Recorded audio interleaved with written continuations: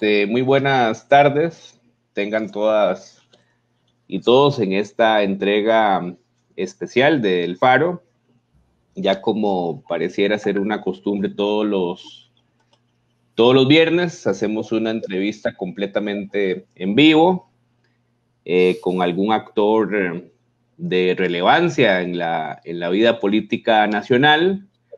Y esta tarde, hoy viernes, 5 de junio nos acompaña el diputado del Partido Acción Ciudadana, el diputado eh, del gobierno, eh, don Welmer Ramos, quien, quien muy amablemente nos ha cedido este espacio para, para conversar sobre temas generales relacionados con la agenda económica del país en este contexto de tantísima incertidumbre, eh, sobre todo tras la la pandemia del coronavirus, el COVID-19, que, como bien sabemos, genera tanta, tanta incertidumbre a, todas y a todos y, que plantea desafíos muy importantes en relación a la, a la economía. Como yo les decía, estamos completamente en vivo. Son la una y siete de la tarde. Así que también pueden ir ustedes dejando comentarios, eh, preguntas para don Welmer y conforme el avance de la transmisión, vamos, podemos ir también desarrollando esas, esas preguntas. Eh, don Welmer, eh, muy buenas tardes y primero que todo darle las gracias por esta, por la oportunidad de tener esta conversación con, con usted, que yo sé que muchas personas que nos sintonizan a esta hora venían esperando con, con muchísimo, con muchísimo interés muchas gracias a usted, don Héctor, por permitirme estar aquí en este espacio y compartir con toda su audiencia.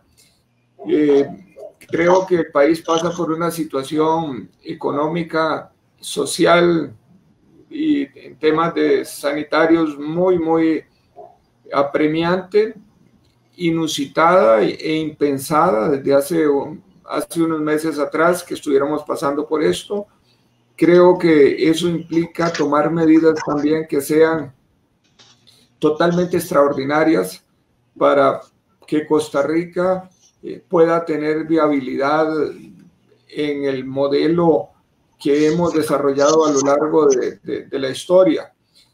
Y, sobre este tema yo quisiera que conversáramos hoy también, don Héctor. A mí me tiene con ilusión hablar de temas económicos, hablar de temas de costo de la vida, de temas de reactivación, que son principalmente los que en los que creo que puedo aportar algo con las ideas de, mucha gente que ha ido sumándolas eh, a través de mi despacho, de, mi gestión política, y, y, esa es la ilusión. Muy bien, este, bueno, don, don Welmer, como como también ustedes bien lo saben, fue, fue ministro de, Economía, Industria y Comercio en la gestión del, del expresidente Luis Guillermo Solís. Don Welmer, entremos en materia. Esta semana, la noticia casi que de la semana ha sido la, el fallo finalmente de la sala constitucional que, que de alguna manera desestima los argumentos de este bloque de diputados que, que quisieron poner algunas piedras eh, sobre la rueda de la ley de usura, que es una ley que usted, al igual que muchos otros diputados, han venido impulsando y que en su momento fue, fue incluida incluso como parte de los proyectos prioritarios para el gobierno del presidente Carlos Alvarado. ¿Cuáles son las impresiones?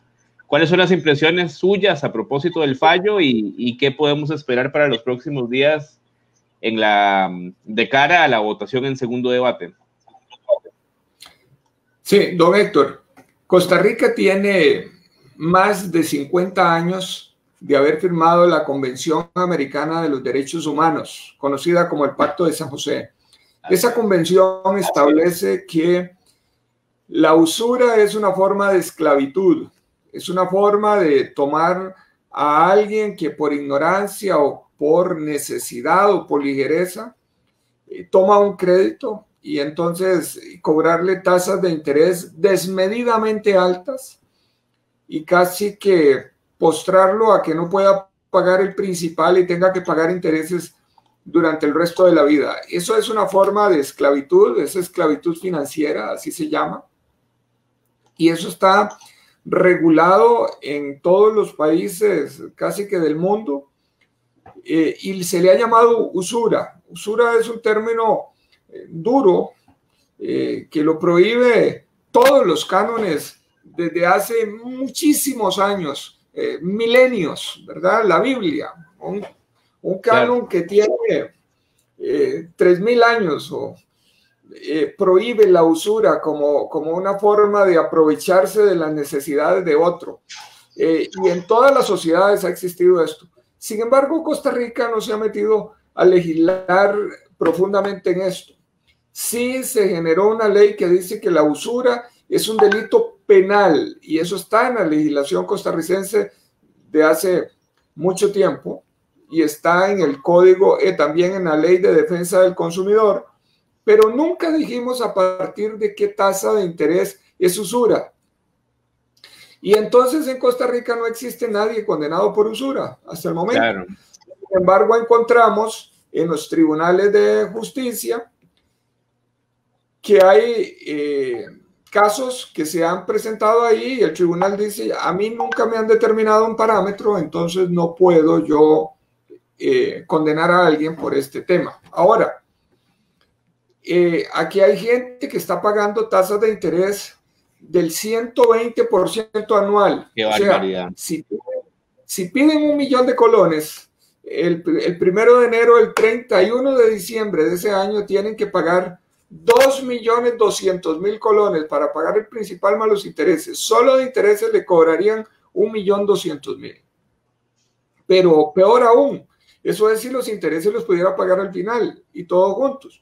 Cuando los intereses, cuando los intereses se le pagan o se le cobran mensualmente, la tasa se vuelve una tasa de interés compuesta y que puede ascender hasta el 230% o el 210% anual. Eh, encontramos en Costa Rica entonces que como no regulamos la usura a través del tiempo, y permitimos estas barbaridades, muchos han hecho de, esto un, medio para agarrar incautos. Claro. Y yo le, yo le puedo dar algunas estadísticas para que veamos la dimensión del problema. En, en casas de empeño, en almacenes de electrodomésticos, en tarjetas de crédito, en créditos de financieras, en bufetes que, que, se dedican a esto, puede haber, eh, hay más de 4 billones, esos son millones de millones, a, tasas de interés que superan el 62% eh, anual.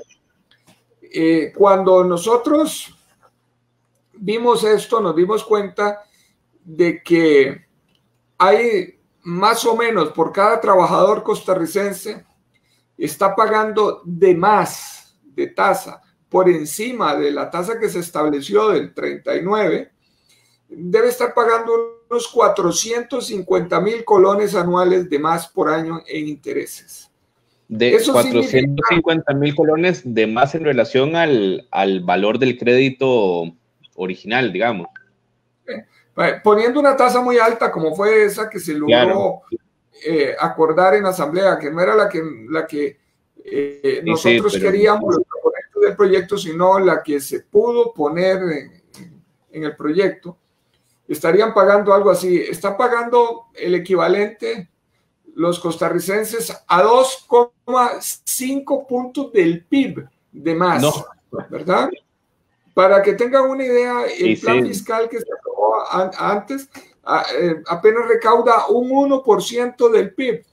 Pues en usura estamos pagando de sobretasa, de sobretasa, por encima del 39, dos puntos y medio del PIB de más. Esto hace que el costo de la vida en Costa Rica sea muy caro.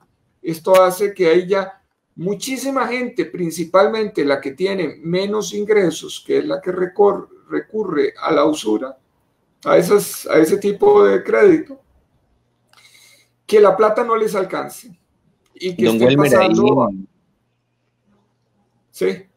No, no, que yo, yo lo escuchaba usted hablando y, y un poco quisimos introducir la entrevista con este tema porque eh, yo, yo creo que para nadie es un secreto que aquí en Costa Rica ya muchísima gente eh, llega a fin de mes es porque hace gastos de subsistencia básica ya con la misma tarjeta de crédito o gente que para pagar una tarjeta de crédito tiene que sacar otra tarjeta de crédito y así vamos en una espiral eh, tremenda que como bien decía usted afecta fundamentalmente a los sectores populares. Yo ahí preparando una entrevista leía que en Costa Rica hay 1,8 millones de tarjetavientes que supongo yo, pero eso ya incluso se lo planteo más como pregunta, ese dato deja también por fuera todo lo que popularmente se conoce como las garroteras, ¿verdad? Que eso yo me imagino que ahí tal vez como para explicarle bien a, la gente y que los costarricenses conozcan más, este proyecto establece una tasa máxima por el orden del 39%, ¿verdad? Para créditos en Colombia. Eh, usted nos hablaba que que desde su perspectiva esto no es lo ideal, pero bueno, en la política no siempre lo ideal, a veces lo perfecto es enemigo de lo posible y lo posible es lo, mejor, hay grupos económicos, hay presiones. Si usted pudiese describirnos algunas de esas presiones de poderes económicos en esta coyuntura frente a este proyecto, eh, sería también de mucha, muy ilustrador para toda la gente que nos escucha. Sí, claro. Eh, yo le podría contar eh, que hay algunos, y principalmente el sistema financiero es donde yo tengo más preocupación, que como no hay restricción de tasas hacia arriba, entonces se han dedicado a prestar para consumo y no para actividades productivas porque en las actividades productivas hay más mercado, hay más competencia y entonces las tasas de interés tienden a ser muy bajas.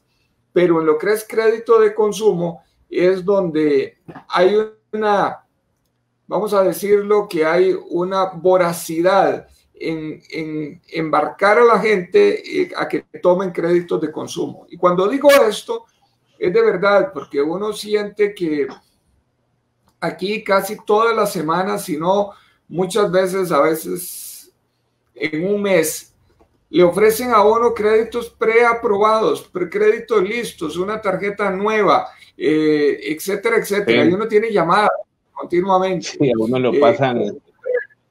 sí, sí, disfrute ahora y pague después. No le dicen eh, disfrute ahora y pague después tres veces lo que disfrutó. claro. Entonces, ahí se vuelve eh, se ha vuelto entonces un negocio que está haciendo que mucho crédito se concentre principalmente en consumo y no en crédito de inversión o de vivienda o de otro tipo que sí mejore el nivel de vida. Y que además sería clave para reactivar la economía en este contexto, ¿no? Ese tipo de crédito. Este crédito que se crea a través del el crédito a las, al consumo no reactiva porque la persona consume una vez y paga por el resto de la vida intereses, disminuyendo su capacidad de, eh, de pago para el resto casi de la vida cuando, conforme queda endeudado. Y eh, es, una situación muy grave para un país que está concentrando una cantidad muy importante de su crédito en consumo en vez de crédito para eh, vivienda, como decía, producción y otras cosas. Eso por un lado. Y por el otro lado, se ha creado una, una voracidad en el cobro que la gente se están perdiendo sus activos, su casa, su, eh, su pequeña empresa, su carro, todo lo está perdiendo porque estos prestamistas después van y rematan. Y, y hoy en día tenemos más de 850 mil casos en el Poder Judicial de cobros. 850 mil casos. Sí, que, que estos están quedando manchados, ya están manchados, ya esos fueron excluidos del sistema financiero porque esas personas están atrasadas en algún crédito. por un lado, pero recuerde que los fiadores también quedan manchados eh, en, el mismo, en el mismo crédito, porque aquí hay una, una situación que al fiador le avisan de que eh, tiene que pagar el crédito cuando ya está en cobro judicial, no le avisan en la etapa anterior. Y entonces hay miles y miles de costarricenses, 850 mil, que hoy en día si quieren poner un pequeño negocio, si quieren comprar una vivienda, etcétera, ya no van a poder hacerlo. Ya no van a poder acceder al crédito, claro. Tienen una mancha. Pero más aún, muchos de ellos están perdiendo sus activos, su casa, su empresa, etcétera, por una fracción pequeña del monto de la deuda, porque una vez que se liquida una casa, puede ser que, que se la quiten por el 20% del valor. ¿Y quién termina pagando todos esos 850 mil cobros judiciales? La sociedad costarricense.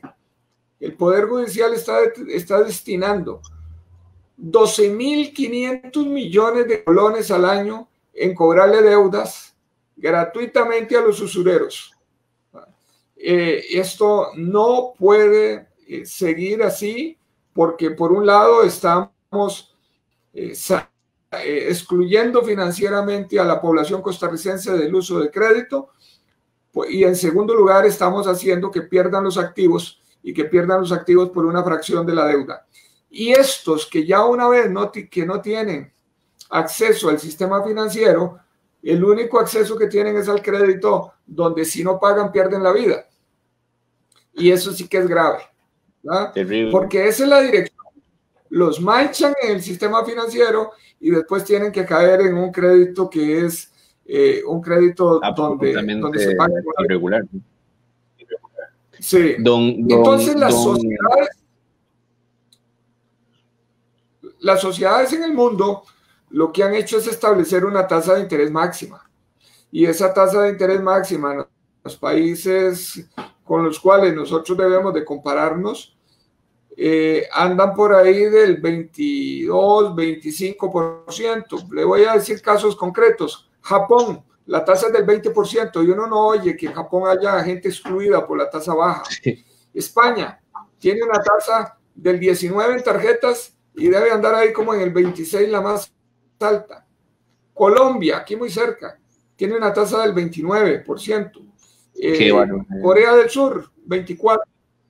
¿verdad? Eh, Francia, 22. Entonces, que no vengan aquí a decir que, las, que si ponemos una tasa de interés como la que estamos poniendo, eh, se va a crear un caos para los más pobres, etcétera, etcétera, ¿verdad?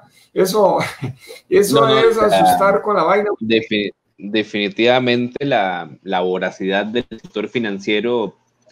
Don Welmer, antes de pasar al siguiente tema, nos preguntan aquí Edson Gómez que qué opina usted sobre el hecho de que un Estado tan endeudado como el nuestro tenga una población que personalmente, de manera individual, me imagino, esté tan endeudada. O sea, que, ¿qué nos dice eso sobre el modelo de Estado que, que tenemos en la actualidad? No es el Estado, son las familias. Tenemos que cambiar la cultura tenemos que cambiar la cultura, las personas. En Costa Rica todos nos enseñan a ganarnos el dinero y a ganárnoslo de, manera honesta y somos buenos trabajadores y aquí hay que trabajar horas extras. Eh, los costarricenses trabajan horas extras, eh, nadie le quita el hombro al trabajo. Si hay algo que tenemos nosotros, prestigio internacional, es de que Costa Rica, los trabajadores y los costarricenses son empujados, digámoslo así, para el trabajo. Lo que no nos eh, enseñan a nosotros es cómo usar el dinero de la mejor manera para nosotros sacarle el mayor provecho. Y como no nos dan ninguna clase de educación financiera, muchísimos costarricenses están cayendo en sobreendeudamiento y como no tienen ningún plan para su vida y ningún objetivo en el plan financiero, terminan siendo presa fácil de, los, que sí tienen sobreendeudarlo, ¿verdad? Eh, eso tienen otras economías como los japoneses, como los israelíes, como eh, los países nórdicos que sí tienen planes y que sí son ordenados en el manejo de sus finanzas.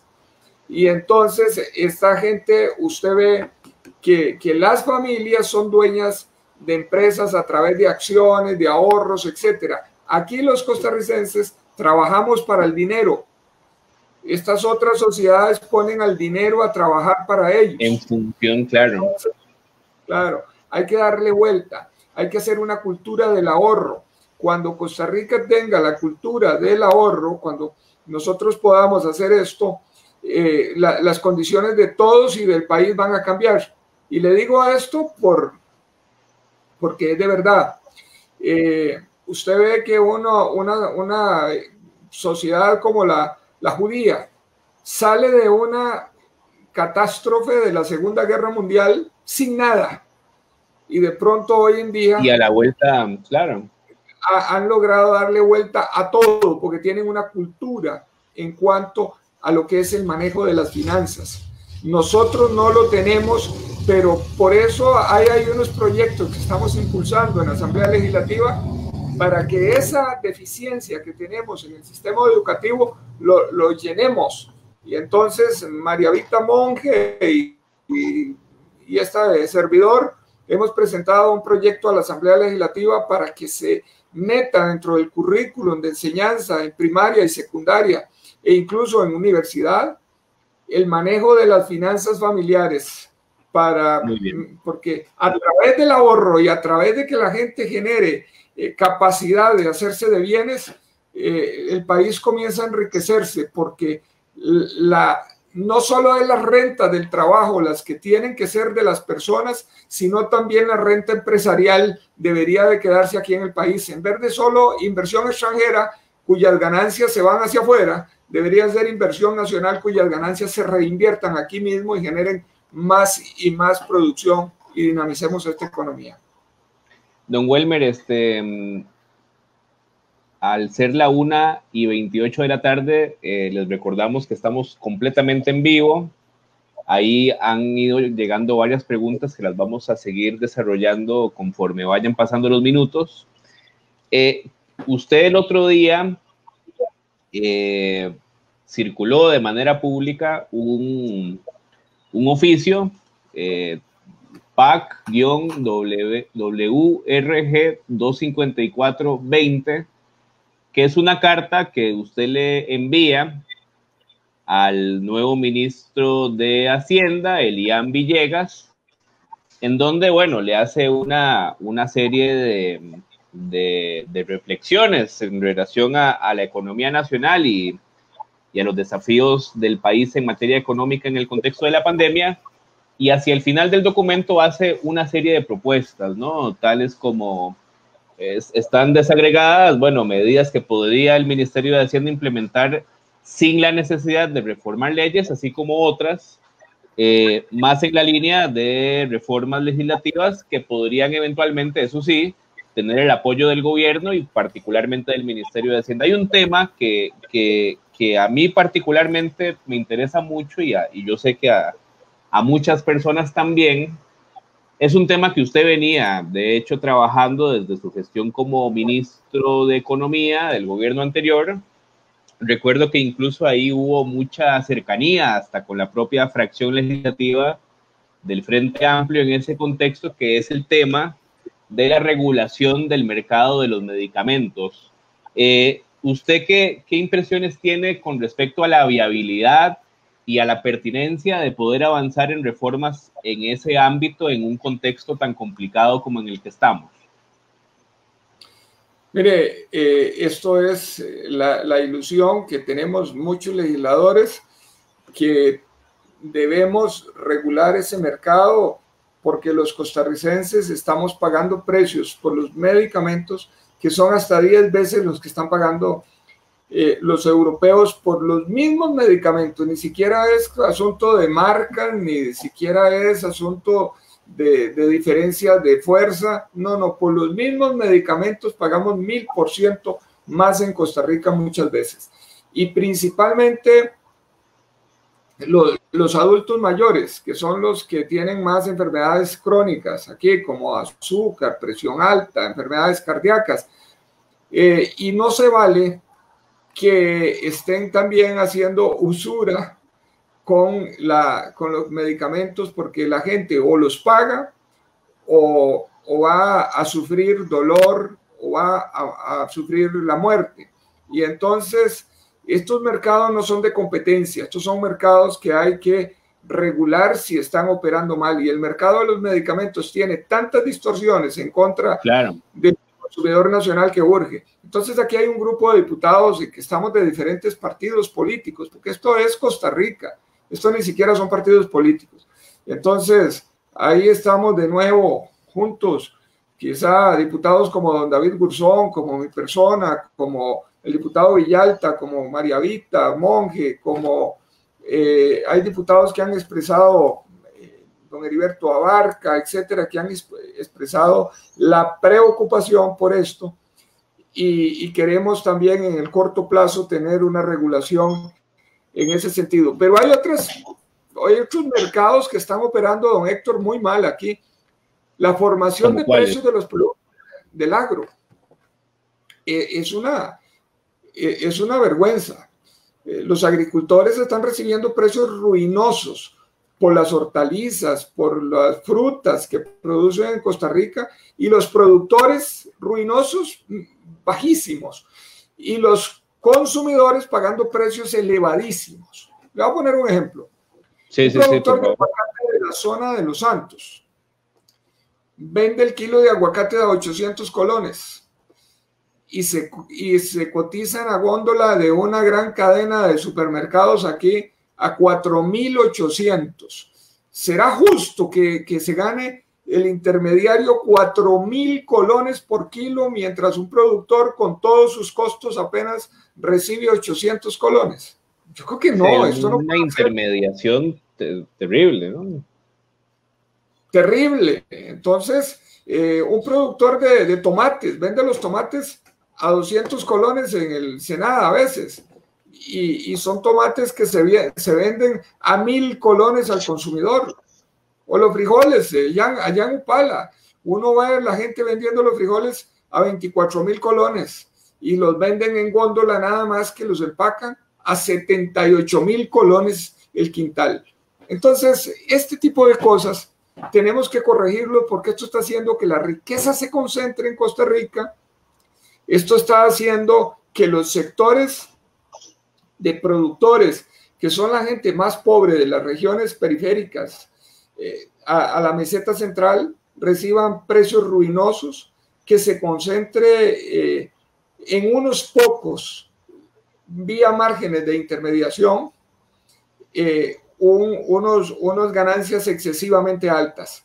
Eh, esto, hay que, esto hay que aislarlo, esto hay que cambiarlo los, los diputados en el pasado hicieron leyes como la ley del café, que establece cómo se va a regular el precio entre de exportación, cómo se liquida para atrás para que el exportador gane algo justo, para que el, el, beneficio gane también una parte justamente y el productor también reciba de manera justa. Pero hoy en día que hay algunos que adoran el mercado sin saber que hay mercados oligopólicos y monopólicos claro. y de otras formas que, eh, que hay que regularlos porque si no se vuelven en injustos, concentran la riqueza, claro. frenan el crecimiento de la economía y, y, y, hacen que las regiones que generan esas producciones no, no, no se eh, desarrollen. Entonces, sí, de eso trata inclusive es toda esa de oligopolios que usted describe y, y todas esas distorsiones que usted bien señala que, que suceden en nuestra economía, inclusive son contradictorias a la misma prédica neoliberal que, que muchos de estos sectores históricamente han, han promovido, ¿no? Eh, don Welmer, usted a propósito de esa carta y bueno, eh, sabemos bien que, usted es diputado electo por el Partido Acción Ciudadana y tampoco la idea es generarle un, conflicto, ni mucho menos. Eh, ciertamente, el gobierno de la República es un gobierno que, que en materia económica, al entender de muchas personas, y me incluyo, ha tenido un rumbo económico, digamos, bastante favorable a, intereses que precisamente conspiran en contra de poder avanzar este otro tipo de cosas. Y sabemos bien que la política es una disputa, ¿verdad? Y el gobierno muchas veces tiene que equilibrar muchísimos intereses que están ahí sobre la palestra. Eh, ¿qué, ¿Cuáles son sus impresiones a propósito de la salida del ministro de Hacienda, eh, ex ministro de Hacienda, y el, y la llegada de este nuevo ministro de Hacienda, ¿usted, ¿usted vislumbraría algún cambio en la orientación de la política económica del gobierno o es usted más, más cauto al respecto? Don, Héctor, yo soy diputado por Costa Rica, más que por un partido político o más que por un gobierno de turno, le digo. Eh, y entonces este gobierno ha sido un gobierno en que tiene elementos o, participantes ahí, ministros, que, que, son de ideologías muy diferentes a las del Partido Acción Ciudadana. Y entonces yo tengo que decir que hay una serie de cosas que venía haciendo el ministro anterior o que había propuesto el ministro anterior de Hacienda, en que yo compartía el tema de la gestión aduanera y de la gestión tributaria. Y cuando digo gestión es cómo se está administrando, cómo se está haciendo el cobro de los tributos. Eh, en Costa Rica es vergonzosamente deficiente. Y lo mismo el tema aduanero. Aquí las grandes empresas pagan lo que quieren, porque Costa Rica tiene sistemas arcaicos que no le permiten hacer control cruzado y no le permiten hacer auditorías inteligentes para eh, evidenciar cuánto es las cargas tributarias que tienen que pagar algunos grandes contribuyentes sofisticados. Eh, y eso a mí me, ilusionaba del, del, ministro anterior, que tenía claramente establecido que había que cerrar una serie de portillos que, iban, que están permitiendo aquí en Costa Rica la evasión y la ilusión. Eh, y creo que él lo dijo, lo expresó con claridad. Uno nunca espera con un ministro tener coincidencia del 100%. Claro. Lo que espera es tener una coincidencia en los asuntos macros, en lo más grande. Y, y yo tenía mucha coincidencia con él porque lo vi que estaba claramente orientado a mejorar la recaudación tributaria en Costa Rica, justa, cerrando portillos, mejorando la gestión eh, y haciendo cambios que hace muchos años no se hacen en Costa Rica. Y voy a decirles cosas, cosas por ejemplo. Eh, el sistema TICA lo regaló Uruguay hace ya 25 años o más y ya era un sistema viejo. Y en Costa Rica ni siquiera se implementó en todos los diferentes módulos.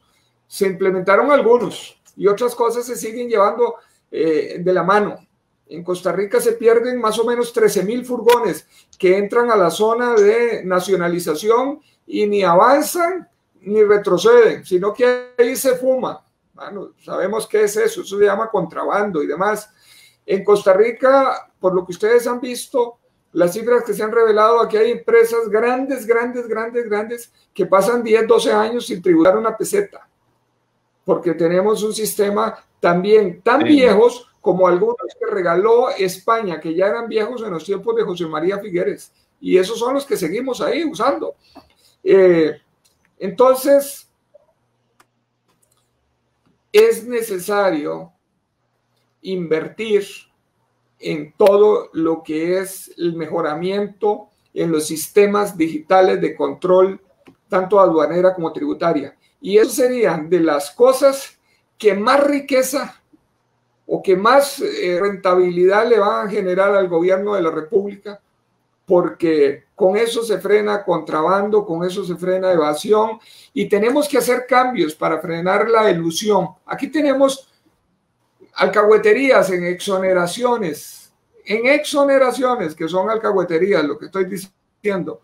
Aquí hay grupos de empresas que tienen una empresa exonerada y que como no hay control, pueden traer los insumos para todo el resto que no están exoneradas. Aquí tenemos una situación eh, grave ya de que muchas empresas que operan en economía nacional están viendo cómo se pasan a zonas francas para dejar de pagar impuestos. Y si erosionamos la base tributaria de Costa Rica de esa manera, entonces ¿quiénes van a terminar pagando impuestos? Siempre el pueblo. Entonces, aquí hay que hacer cambios y en ese sentido el ministro anterior iba bien enfocado. Y yo lamento que se haya ido por eso. De don Elian no he visto eh, cuáles son sus grandes propuestas. Vamos a hablar el lunes con él al respecto. Tienen una reunión. Pero ya... no sé cuál... Sí, los diputados, eh, él está reuniendo con diferentes diputados. Nosotros vamos a reunirnos el lunes. Pero eh, hay, que ver cuáles son sus cartas sobre la mesa y con eso uno se puede ilusionar o no ilusionar, ¿verdad? Entonces, eh, de mi parte, yo sí he querido actuar y he, mandado una carta diciéndole gestión tributaria, gestión aduanera, cosas del Estado, eh, deuda, renta global, renta mundial. Aquí hay que parar todo lo de Panama Papers, porque eh, urge a este país recoger, recoger dinero, no del pueblo, recoger dinero de los que están teniendo grandes ganancias. Porque no es que cuando, no es que cuando se cobran esos impuestos se le está quitando a nadie nada de lo que tiene, no, es de lo que está ganando, que aporte para sostener el Estado, para poderle dar educación a los más pobres, para tener mejor infraestructura, para poder financiar el sistema jurídico, eh, para, para tener mejor salud, entonces, es necesario y las democracias son caras. Y cuando digo las democracias son caras, estoy diciéndole que los suecos, los daneses, los holandeses, los finlandeses viven bien. No hay ninguno huyendo de, su país por el sistema tributario, pero pagan el 50% de lo que ganan lo pagan en impuestos, pero están felices porque pueden tener la casa abierta sin que el vecino sin que nadie los asalte, pueden andar por la calle a cualquier hora de la noche tranquilos, etcétera, porque si la sociedad todos tienen oportunidad de mejorar su nivel de vida a través del esfuerzo y los mecanismos que hay, entonces nadie va a asaltar a otro para quitarle el dinero, pero cuando una sociedad cierra los mecanismos que tiene la gente para mejorar su nivel de vida, incluso a través del trabajo, entonces las sociedades se vuelven complicadas. Y yo quisiera que Costa Rica fuera lo que ha sido un país de oportunidades. Y eso requiere tributación eh, que sea solidaria, que sea justa, que sea fraterna. Y por ahí, don Héctor, es eh, donde ilusionado con lo que había propuesto el ministro anterior. Sí, porque además los pilares sobre los cuales eh, teóricamente y y bueno, incluso a nivel constitucional está asentado nuestro Estado social de derecho, precisamente son esos pilares que usted señala y que más bien el rumbo económico de los últimos años ha tendido hacia, hacia otra parte, ¿no? Don Welmer, para ir terminando, este, y más bien agradecerle por el tiempo, yo sé que para todas las personas que nos están escuchando esto ha sido de no solo de gran provecho en términos informativos, sino que también muy esperanzador también en relación a la posibilidad de, pensar otras políticas económicas que sí consideren a la gente, ¿no? Y no este rumbo que, hemos tenido hasta ahora. Eh, ahí también cuando preparábamos la entrevista leíamos las proyecciones que en su momento el Banco Central había hecho con relación a cómo se iba a comportar la economía en este 2020 y muchas de esas proyecciones, evidentemente, han perdido vigencia de cierta manera tras la pandemia del coronavirus, que es una pandemia que claramente prácticamente no, no esperábamos. De hecho, el Banco Central en ese momento auspiciaba para el año una apreciación del, del colón. Eh, según datos que han circulado en estos días, la economía terminará contrayéndose este año en aproximadamente un 3,6% del PIB y la cantidad de empleos que se han ido perdiendo ha sido notable y probablemente se sigan perdiendo muchísimos más empleos acá en Costa Rica, como también es una dinámica a nivel mundial. Y a mí me llamaba muchísimo la atención la manera como en este mes el tipo de cambio eh, pasó en mayo de más o menos 563 colones al día de hoy que más o menos está por el orden de los 575.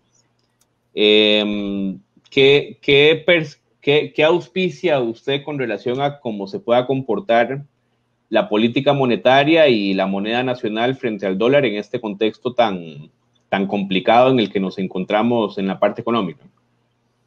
Bueno, vamos a ver. Yo esperaría un Banco Central mucho más agresivo en cuanto a lo que es la disminución de las tasas de interés, porque tanto las familias que perdieron los empleos y los ingresos totalmente y que tienen deudas, no pueden ver que se capitalicen las deudas porque lo que estaríamos haciéndole es una bola de nieve que eh, dependiendo de la duración de esta pandemia se podría conseguir, se, volvía, se podría volver impagable para algunas familias. Lo mismo para las empresas que hoy no están operando. Entonces el Banco Central, como lo, ha hecho, como lo han hecho los bancos centrales de Europa, de Estados Unidos, de Japón, de Australia, deberían de llevar las tasas de interés muy cercanas a cero, dándonos cuenta de que urge salvar la capacidad de pago que tienen las empresas y la capacidad de pago que tienen las personas. Eh, por un lado. Por el otro lado, eh, y eso sería, esperaría yo que el Banco Central esté anunciando esto muy pronto. Eh, por la otra parte, en cuanto a lo que es tipo de cambio, creo que Costa Rica nos, nos toma esta pandemia con unos niveles de reservas muy altas, o sea, tenemos muchísimos dólares acumulados para poderle hacer frente a esto. Y entonces el tipo de cambio puede oscilar hacia arriba o hacia abajo, pero yo no esperaría que, que, eso fuera muy, muy grave. Eh, yo veo que Costa Rica tiene perfectamente para, eh, suficiente para dos años o tres años eh, adecuado, con el nivel de reservas para tener un tipo de cambio muy estable. Así es que yo no le veo desde esa perspectiva mayor problema a, a, lo que está sucediendo con tipo de cambio. Podrá subir ahí unos 10 colones más o, o, bajar otros 10 colones, pero no, no, no veo yo presiones en el corto plazo. Muy bien. Bueno, don Welmer, este, tal vez ya vamos a ir concluyendo la entrevista. Ya tenemos, la transmisión ya va por 43 minutos, prácticamente se nos, se nos extendió muchísimo con relación a lo que habíamos pactado en un inicio, pero bueno, al menos para mí ha sido de gran provecho porque no siempre se tienen estas la posibilidad de tener este tipo de conversaciones, que muchas veces además son conversaciones que, que se dan en la esfera pública, en la esfera de las, de las personas que están metidas en política y demás, pero que no siempre se publicitan tanto eh, con relación a la ciudadanía, que ese es un déficit que precisamente nosotros desde el Faro quisiéramos solventar, que es que más gente pueda participar de la discusión política a nivel nacional para de esa manera también democratizar eh, los sentidos comunes que manejamos con relación a la economía, a la política, a la sociedad, a la cultura. Y en buena hora que usted nos haya dado este ratito, esta oportunidad y, esperamos que también puedan quedar como las puertas abiertas para futuras otras entrevistas y colaboraciones eh, de su parte. Así que bueno, don Welmer, si usted quisiera un mensaje final para ya ir cerrando la entrevista. Sí, yo creo que aquí en Costa Rica se nos metió, se nos metieron entre los partidos políticos una ideología que adora el mercado y que adora el egoísmo y la individualidad, y eso no es la sociedad costarricense. La sociedad costarricense es una sociedad en que hemos sido mucho más solidarios, mucho más fraternos, en que hemos creado mecanismos para que a través del esfuerzo todos podamos mejorar el nivel de vida. Y, esto hay que rescatarlo. Esto era socialdemocracia, eso se llamó social cristianismo. Hoy no queda nada de esas ideologías en los partidos políticos. Lo que quedan son, desgraciadamente, a veces muchos intereses meramente personales pero creo también y estoy viendo con optimismo el renacer de una nueva forma de pensamiento eh, que, que van de nuevo dándose cuenta de que hay que reforzar esa sociedad eh, de oportunidades que se creó en el pasado y que eso no se puede destruir porque se nos ha concentrado la riqueza, el ingreso, ha aumentado la pobreza y, y, el desempleo. Y eso no es consecuencia de gobiernos, es consecuencia del modelo económico que se implementó y que se ha eh, fortalecido en los últimos 40 años y que es un modelo excluyente de los más pobres. Y, la, y aquí termino diciendo, la, eh, el distanciamiento social Costa Rica lo viene practicando desde hace como 30 años. Claro el distanciamiento social que tanto se habla ahora, que debería ser el distanciamiento entre personas. No, el distanciamiento social aquí se viene practicando hace mucho tiempo, en que hemos visto como normal que los pobres se eduquen en escuelas de baja calidad y los ricos vayan a otras, o la clase media alta. Que unos vivan en condominios cercados por murallas, separados totalmente, con canchas de golf adentro, etcétera, y el resto del pueblo con otro nivel de seguridad y otro nivel de vida y eso lo vemos como normal. Hemos ido viendo muchísimas cosas que el que, que el que es grande tenga acceso al crédito a tasas de interés bajas y el, que, y el pequeño productor tenga que pagar tasas de interés abusivamente altas, etcétera, etcétera. Y ese distanciamiento social tenemos que ver cómo lo acabamos para que sea un país de equidad, de igualdad, en que en que sea el esfuerzo de cada quien, como, como se planteaba en los años 60 o para atrás, eh, que era el esfuerzo de cada quien el que pudiera mejorar el nivel de vida. Y eso hay que gestionarlo. Una sociedad más equitativa, eh, una sociedad de más oportunidades hay que gestionarla, no es consecuencia de un mercado. Y entonces esto hay que repensarlo y darle vuelta. Por eso a mí me, me place hablar aquí con usted, don Héctor, porque hay que, hay que generar pensamiento distinto. Y usted lo hace con su programa. Muchas gracias. A usted, don Welmer, las gracias. Nada más para la próxima le quitamos el, el don Héctor, porque también me hace sentir un poco viejo. Pero no, muchas gracias. Este, y a todas y todos los que nos han escuchado, la, la frecuencia de de participaciones a lo largo del programa se ha mantenido bastante constante en número, lo cual es expresión de que el tema interesa. Eh, nosotros vamos a seguir eh, procurando mantener este espacio de los viernes de charlas en vivo con, con referentes de la política nacional para que también ustedes puedan eh, también ser partícipes de efectivamente tenemos un déficit de debate en nuestro país eh, una hegemonía de sentidos comunes neoliberales que sin duda nos hace muchísimo daño.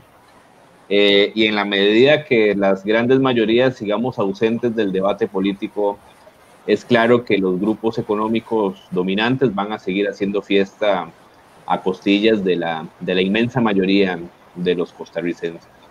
Así que bueno, cerramos. Eh, esta transmisión va a quedar subida a la página de Facebook eh, en las próximas horas vamos a subir también la entrevista al canal de YouTube del Faro. Eh, y también vamos a, editar unos videitos chiquitos también para que ustedes puedan tener como el resumen eh, de la entrevista.